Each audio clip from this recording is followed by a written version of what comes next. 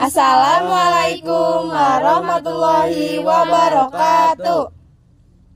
Kami dari kelompok 1 akan mempresentasikan mengenai materi dasar-dasar kuliner yang membahas tentang gastronomi. Sebelumnya perkenalkan nama saya Carolina Cindo. Nama saya Salma Ramadhani Fitria. Nama saya Rapi.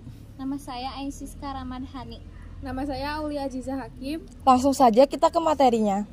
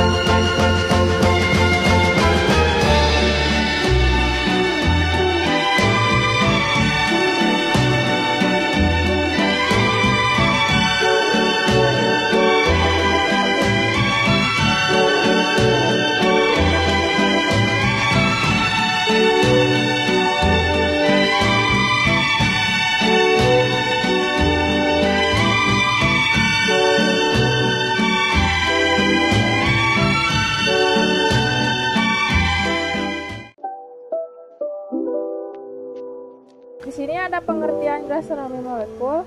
Gastronomi adalah ilmu yang mempelajari perubahan molekuler serta perubahan fisika dan kimia dari bahan pangan selama proses memasak.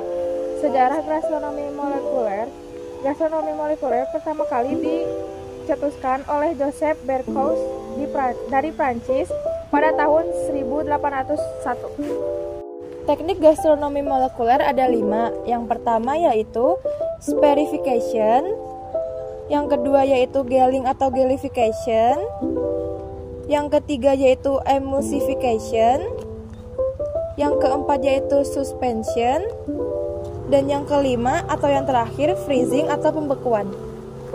Bahan baku gastronomi molekuler ada 12, yaitu kalsium laktat, natrium alginat, agar-agar, gelatin, Kemudian ada gelangam, rotakaragenan, kapakaragenan, dan metil selulosa. Selanjutnya ada soy lecithin, nitrogen cair, maltodextrin, kantanggung. Sekian presentasi dari kelompok kami. Mohon maaf bila ada salah kata.